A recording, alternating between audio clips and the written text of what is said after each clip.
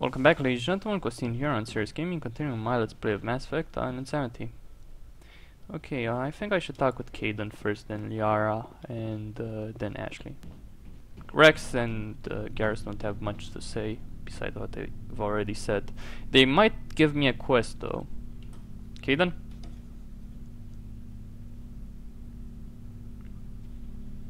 Anything you need, Commander? Tactical appraisal? What's your opinion on the last mission? Dr. T'Soni. Seems like a sweet girl. Easy on the eyes. I mean, if you like the bookish sort. Do you? Any intentions there, Lieutenant? No, Commander. Just art appreciation. Looking for personal input. Just trying to get a sense of where the crew's at. Thoughts? Is this an official evaluation, Commander? Or off the record? Just give me your thoughts. Like I've got time to write you up. You have something you want to say, feel free. Fair enough. Truth is, there's something wrong with all of this. This Saren is looking for records on some kind of galactic extinction, but we can't get backup from the Council? Sorry, Commander. There's writing on the wall here, but someone isn't reading it. I hear you. The Council doesn't want to believe anything's wrong. I'd call it human nature, but... I hear you. It, it just seems like a group that's been around as long as the Council should see this coming. Sorry if I got too informal. Protocol wasn't a big focus back in BAaT. That's alright. Tell me about it. Biotic acclimation and temperance didn't last past the airlock. To the kids they hauled in, it was brain camp. Sorry, hauled in is unkind.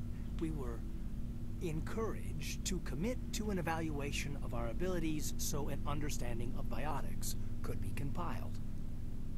There are worse results of accidental exposure to element zero in the womb. Beats the brain tumors some kids grew up with. Damned corporations. I heard all about that. How companies would arrange accidents to expose people to element zero. There was never any proof of that. It's not what happened in my case, anyway. My mother was downwind of a transport crash. It was before there were human biotics, a little after the discovery of the Martian ruins. It only gets iffy around 63 when Conatix was running out of first-gen subjects. Until then, they'd relied on accidentals. A bunch of guys in suits show up at your door after school, and next thing you know, you're out on Jump Zero. Jump Zero. Jump Zero is Gagarin Station, right? What's it like? Yeah, that's the official name. Biggest and farthest facility we had for decades. Right on the termination shock, the outer edge of the solar system. It's where they did all the Goose Chase FTL research before we caught on to using mass effect fields. It was a sterile research platform when I was there. Friends. There were other kids in the same boat, right? At least you weren't alone out there. That's true. We did have a little circle that'd get together every night before lights out. We didn't have much to do, though. It was a research platform then, and Conatix kept Jump Zero off the extranet to prevent leaks. Hmm. Time to get physical then. You were all teenagers. I'm sure you found other ways to occupy the time. I'm not the sort who does that kind of thing, Commander. Not lightly, anyway. There was a girl I spent a lot of time with, but we kept our clothes on. Rahna. She was from Turkey. Her family was very rich. But she was smart. And charming as hell. Beautiful. But not stuck up about it. I think you'd have liked her. Did you love her? Sounds like she was special to you. She was. Maybe she felt the same. But things never felt together. Training, you know. Intentional exposures. You know of any intentional exposures for certain? No one knows. Doesn't mean they didn't happen. As big as the exposures were, it was hard to track down accidentals. It was different then. No one knew the potential, so there wasn't a lot of regulation. Anything Conatix did was gold. I'm not saying they intentionally detonated drives over our outposts, but in retrospect, they were damn quick on the scene. Sounds rough. Jump Zero is a long way from home. What was it like? The grand gateway to humanity looks a lot better in the vids. But that's my own baggage, Commander. No bearing on this. You can talk with me, you know. Alenko, there's no regulation that says you can't be friends with your commander. I appreciate that, Commander. I just don't want you to think that I'm a, a whiner. Besides, I've got my past squared away. Alenko? Anything you need, Commander? We'll talk another time, Lieutenant. Commander? Yeah. Yeah, there are some people who hate Kaidan, but I don't really hate him. I actually like him a lot as a character. Which makes Virmire... Actually, I like Ashley a lot as a character as well. Which makes Virmire a bitch. If you know what I'm talking about. Commander, are you coming to check up on me? I was worried. You look much better. How are you feeling? Dr. Chakwas assures me I am going to be fine.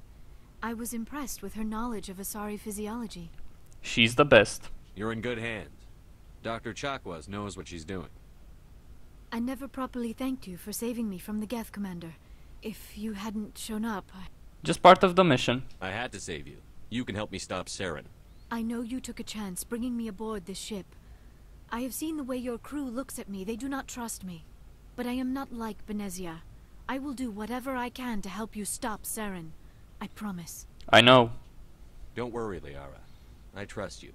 I know you won't let me down. It means a lot to hear you say that, Commander. Thank you. Asari culture. I'd like to know more about the Asari. We were the first species to discover the Citadel. We were instrumental in forming the Council, and we always strive to be the voice of peaceful cooperation in galactic disputes. My people believe we are all part of a single galactic community. Each species contributes something to the greater whole. Although we seek to understand other species, it seems few of them seek to understand us. The galaxy is filled with rumors and misinformation about my people. Rumors? Like what? Most of the inaccuracies are centered around our mating rituals. My species is monogendered. Male and female have no real meaning for us. We still require a partner to reproduce. This second parent, however, may be of any species and any gender. How is that possible? I don't understand. Your species can mate with anyone? Mating is not quite the proper term, not as you understand it. Physical contact may or may not be involved, but it is not an essential element of the union. The true connection is mental. Our physiology allows us to meld with other beings. We can touch the very depths of their minds. We explore the genetic memory of their species. We share the most basic elements of their individual and racial identities. We then pass these traits on to our daughters. It is how we learn to grow as a species and how we develop a greater understanding of other races. What about the other parent? What happens to your partner after the union? Every relationship is different. Some unions are a single encounter with both parents parting ways afterwards. Others can be more long-term. Sometimes an Asari and her partner will stay together for many decades. What about the age difference? You Asari live for a thousand years. What happens when your partner dies? Few sapient species live as long as my kind. We have learned to take a philosophical approach to our unions. We do not focus on the inevitable loss of our partners. Instead, we enjoy the time we spend with them. And even after they're gone, a part of them lives on in us. The union is a connection that transcends both time and space. Who was your father? Do you know who Matriarch Benezia chose as her partner? She rarely spoke of her partner. Though I know my father, if you want to use that term, was another Asari. You can do that? You don't know who. Benezia never told you her partner's name? Union with our own kind is no longer common, not for the purposes of reproduction. Most Asari believe it weakens our species. Asari daughters inherit racial traits from the father species. If both parents are Asari, then nothing has been gained, or so conventional wisdom would hold. I am what is sometimes called a pureblood. Though no Asari would ever be cruel enough to say the word to my face, it is a great insult among my people. It is possible Benezia's partner was embarrassed by their union. She may have been too ashamed to publicly acknowledge me as her offspring. Then why'd she do it? Why agree to the union if she didn't want any children? I cannot answer that. This is all speculation on my part. It is possible she wanted to be part of my life, but something happened to her before she had the chance. Benezia never spoke of her partner. Whatever happened, it caused her too much pain to dwell on it. She raised me by herself, though that is not uncommon. Many Asari raise their children alone, particularly if the father species is short-lived. Often the partner will pass on long before the child reaches maturity. Benezia. Do you know why Benezia joined up with Saren? I don't understand it. She was always outspoken about the need for the Asari to become more involved in shaping galactic events. Maybe she thought allying herself with Saren would somehow be for the greater good in the long run. At least I hope so. You sound troubled. This hurts you, doesn't it? None of this makes any sense to me. I have not spoken to Benezia in many years, but I know her. And this was not like her. Something changed. I'd like to talk about you. Tell me about yourself, Liara. Me? I am afraid I am not very interesting, Commander. I spend most of my time on remote digs, unearthing mundane items buried in long-forgotten Prothean ruins.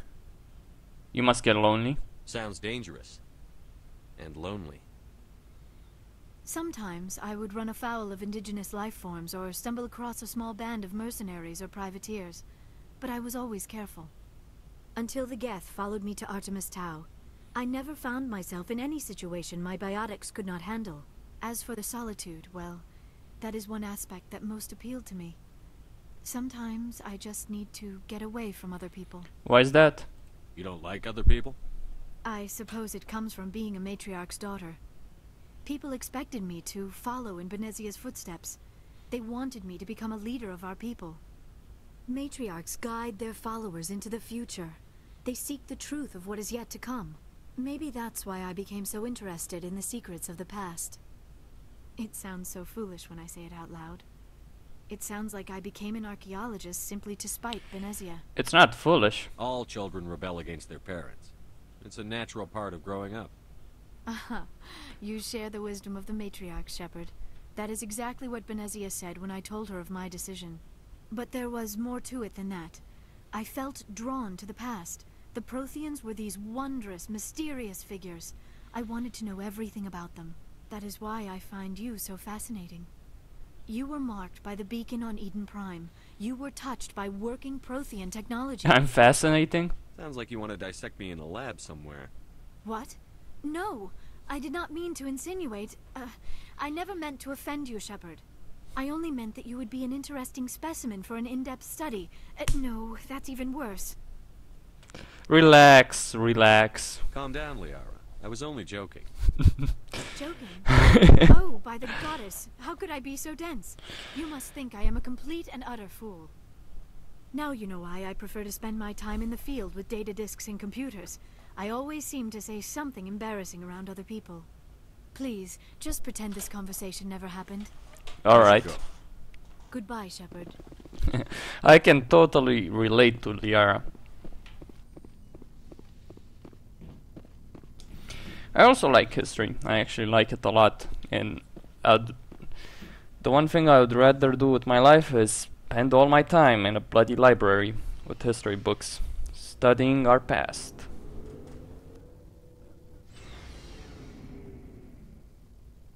That's what I like doing. Reading stuff. Wrex? So, we've got Saren on the run. Yes, we do. It won't be long now. Saren's good, but I'm better. Good. He's rotten. To the core. I could tell as soon as I met him. You know Saren? Why didn't you tell me this sooner? I would have if I thought it was important. Uh, that's my call. I'll decide what's important. Now tell me how you know Saren. This was a while ago. A bunch of mercs were bragging about a job out near the edges of the Terminus systems. They said it paid well and the boss was never around to ride them. They said he was looking for more men, too. So I checked it out. Saren, Saren recruited you? I didn't know Saren was openly recruiting mercs. It wasn't that open, and he only showed his face once. We'd been raiding ships in the area for months when we took out this massive cargo freighter. Our biggest haul yet. I was on board checking bodies for valuables, looking for some extra credits. That's when I saw him. What was he doing? What did Saren want with the ship? I don't know what he wanted. He was just moving through the ship, watching. Couple of the mercs called him by name, but he never spoke to them. Never spoke to anyone. I had a really bad feeling about him. So I got the hell out. Didn't even wait to get paid. Cargo. What kind of cargo was the freighter carrying? What was Saren after? I don't know. All I saw on that ship was food and medical supplies. There were some basic weapons, but nothing big. If there was anything of value on that ship, I didn't see it. That's why I didn't mention it sooner. Ship. Whose ship was it? There was a Volus trading vessel. Big one. Lots of guards. But they were no match for us. That's it? That's the only time you saw him? Yeah. Didn't even know who he was. Still wouldn't if I hadn't joined up with you. But my instincts were right. Every other merc on that mission turned up dead within a week. Every damn one. So long, Wrex. Shepard. I wonder if I can talk more with him. He has a side quest he gives you. Wrex? Ah, I do, do love that conversation. Okay, let me equip um, the Liberator. Wait, what? Okay, if you say so, it's orange.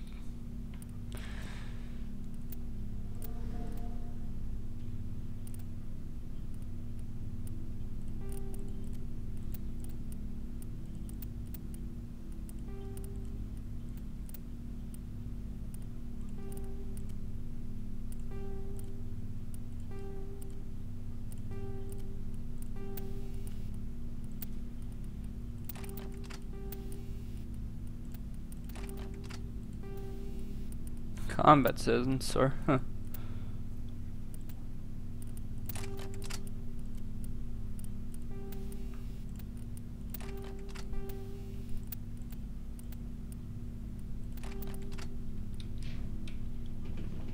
Ashley? Commander, you have a minute to talk. Of course. I keep an open door policy. If you have any concerns, lay them on me. All right.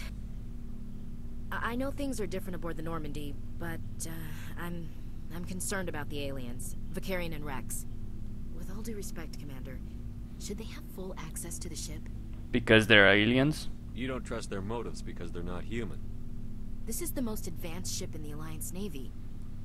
I don't think we should give them free rein to poke around the vital systems. Engines, sensors, weapons. You're out of line. You don't trust aliens? You don't trust the Alliance's allies? I'm not sure I'd call the Council races allies.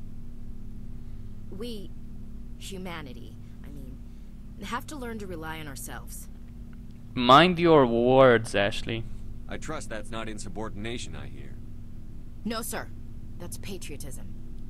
As noble as the council members seem now, if their backs are against the wall, they'll abandon us. Of course they will. the Council's had a grudge against us since the First Contact War. I don't think it's a grudge. I think it's... Look, if you're fighting a bear and the only way for you to survive is to sic your dog on it and run, you'll do it. As much as you love your dog, it isn't human. It's not racism, not really. Members of their species will always be more important to them than humans are. Why do you feel that? These seem like deeply held beliefs, Williams. What made you think this way? My family's defended the Alliance since it was founded. My father, grandfather, great-grandmother, they all picked up a rifle and swore the oath of service. I guess we just tend to think of Earth's interests as our own. Your service. It doesn't sound like you've worked with aliens before. No, sir. Mainly I've been groundside, part of the surface garrison forces. I did get a rotation on a space station for training. Every Marine a rifleman, every rifleman ZG certified. Uh, you deserve better. That's odd. Your record is spotless and your technical scores are exemplary. You should be serving with the fleet. Anyway, that's why I haven't served with many aliens, Commander. Military family. I never knew my family. Grew up an orphan on Earth. Anybody in your family I'd have heard of? Couldn't say, Commander. So why are you out here? Just trying to get away from Earth? To see space. to serve the Alliance. Mainly I wanted to serve. Protect the Alliance, save lives, you know. Glad to hear it. I'd hate to think you were out here for a free college education. Uh, no. I understand your feelings. Alright. I I can see where your concerns are coming from, Williams. But this is a multilateral mission. You're going to have to work with aliens, like it or not. It won't be a problem, Commander. You say jump, I say how high. You tell me to kiss a Turian, I'll ask which chief. what about me? Would you kiss anyone I ordered you to? that depends, sir. If you ordered me to kiss a superior officer, that would be a violation of the regs concerning fraternization. That would make it an illegal order. I'd be required to decline and relieve you of command. Sir. How are we doing? What's your opinion on the last mission? Not sure I buy Dr. T'Soni's story about her and her mom not talking. They're family, right? I believe her. I think she's being straight with us. Or at least, I don't think she lies very often. Yeah, she's probably really bad at it. Hey, want me to ask her about her sex life? Might be a illuminating. That wouldn't be appropriate. Is that the best way to spend your time, Chief? I read you, Commander. I'll behave. Too bad those ruins got destroyed. I mean, they lasted thousands of years. That's impressive. How are we doing? What's your opinion on the last mission? Not sure I buy Dr. T'Soni's story about her. I think she's... Hey, want me to ask her about her sex? Is that... Too bad those ruins got destroyed. Looking forward to it, sir. uh, Ashley's awesome. Garrus, How are you? you and C-Sec. Why did you want to be a C-Sec officer in the first place?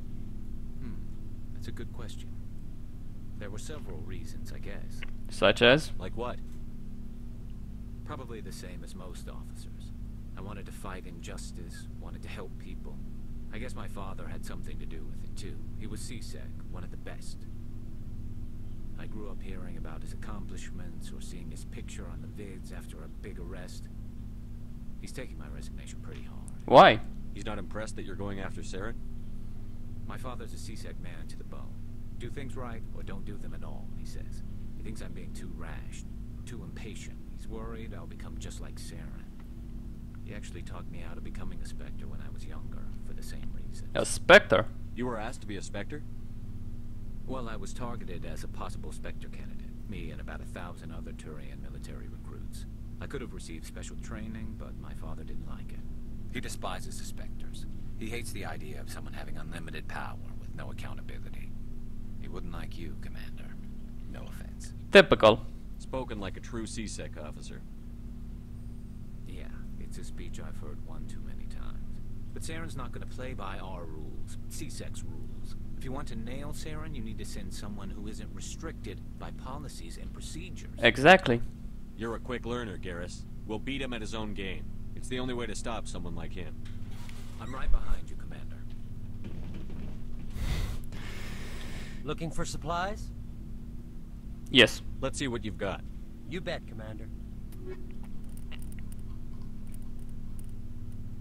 Medium armor, heavy armor human, armor human, survivor.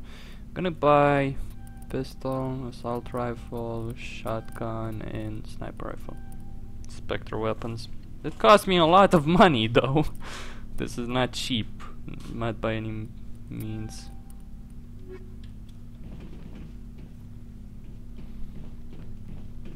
I'm not sure I can get Colossus armor in the armory, but we'll see. Tali, Oh, hello, Shepard. You sound wrong. Uh, you sound down. Sorry. Are you okay? I don't know. Your ship is amazing, and your crew's been really great to me. Especially your chief engineer. But I just sort of feel out of place. The Normandy runs so smooth it feels like we're not even moving. And the engines are so quiet. How do you sleep at night? It's too quiet to sleep. The silence wakes you up? Back on the flotilla, the last thing you want to hear is silence. It means an engine's died or an air filter shut down. I guess you don't have to worry about that here. But old habits die hard. But it's more than just the silence. This ship feels so empty. It's like half the crew is missing. Back home, I couldn't wait to go on my pilgrimage. I couldn't wait to get away from the crowds. Now that I'm out here, kind of miss them. You're homesick. Sometimes we don't appreciate what we have until it's gone.